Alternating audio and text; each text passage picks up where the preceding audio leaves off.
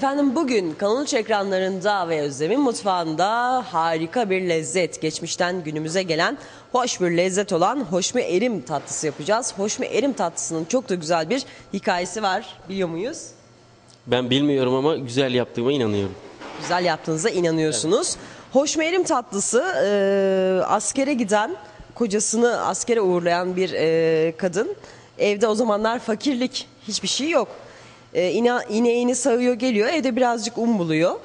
Unla e, sütü karıştırıyor biraz da üzerine şeker ekiyor ve eşine ikram ediyor. Açlık tabii yani sınırlı sayıda e, sınırlı yemek var yani o, o zamanlar her şey bol değil tüketemiyorlar.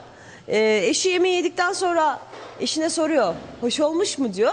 O da e, hoş olmuş diyor. Hoş mu erim diye sorduğu için de adı hoş mu erim diye kalıyor. Balıkesir'de çok iddialı yapıyorlar bu tatlıyı bizim diyorlar ama her yörede sahipleniyor.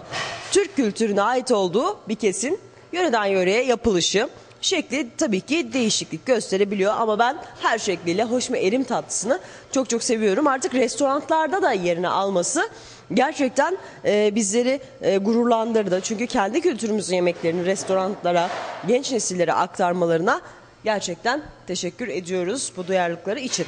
Peki Kenan Usta nasıl yapacak hoş mu erim tatlısını? Ee, biz ilk önce e, tavamıza e, bütün kar- e, karışımları hazırladıktan sonra lor peynirimiz var. Tuzsuz. E, ondan sonra yumurta kullanacağız. Unumuzu kullanacağız ayrı bir kapta. Ondan sonra tavamıza tereyağımızı attıktan sonra bütün karışımı içerisine atıp ondan sonra servise sunacağız. Harika. Farklı olacak. Peki nedir malzemelerimiz? Evet, lor peynirimiz var, unumuz var bir bardak, e, yumurtamız var, fıstık içimiz var, ceviz kullanacağız, ezme kullanacağız, yağ, tereyağı ve şeker. Bazıları da bunu e, afyon kaymağıyla yapar, o da güzel olur ama biz bugün tercihimiz lor peyniri ve süt kullanacağız. farklı olacak. Tabii Evet. tereyağı da ona doğal bir lezzet katacak.